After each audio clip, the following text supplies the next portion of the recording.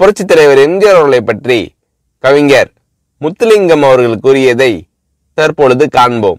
அன்பு பண்பு மனிதாபிமானம் இவை மூன்றும் சேர்ந்த மொத்த வடிவம்தான் புரட்சித் தலைவர் எம்ஜிஆர். மலைகளில் உயர்ந்தது இமயம் என்பார்கள்.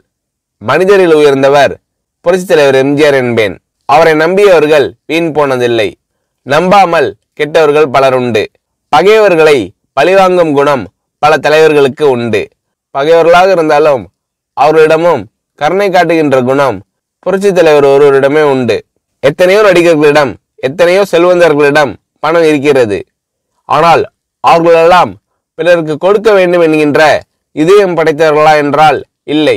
எட்டி பழுத்தென்ன இலவு காய்த்தென்ன என்ற பழமொழி இவர்களுக்காகவே ஏற்பட்டது.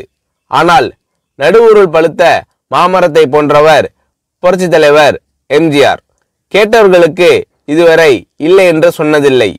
ஒருமுறை என் மனைவிக்கு உடல்நிலை சரியில்லாத போது மருத்துவமனையில் சேர்க்க முயன்றேன். பணம் குறைவாக இருந்தது. மதுரை மீட்ட சுந்தரபாண்டியன் படத்திற்கு பாடல் எழுதி கொண்டிருந்தேன். ஆனால் பாடல் அந்த நேரம் வரை ஒளிப்பதிவு செய்யப்படாமல் இருந்தது.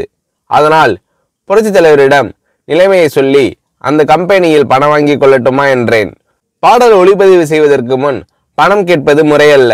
கேட்கக்கூடாது என்று சொல்லி தன் கையில் இருந்த இரண்டாயிரம் ரூபாயை எனக்கு கொடுத்தார் புரட்சி தலைவர். இதேபோல் பல சமயங்களில் எனக்கு உதவி செய்திருக்கிறார். திரையுலகில் நல்ல பாடலாசிரியர் என்று என்னை பலரும் பாராட்டும் அளவுக்கு எனக்கு தொடர்ந்து தன் படங்களில் வாய்ப்பு தந்து வளர்த்து விட்டவர் புரட்சி தலைவர் எம்ஜிஆர்.